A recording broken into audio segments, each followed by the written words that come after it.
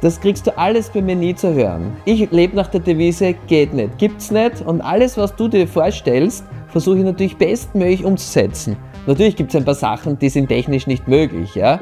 Aber ich werde wirklich meine ganze Kraft dahinter setzen, dass du dein Projekt genauso bekommst, wie du dir es vorstellst.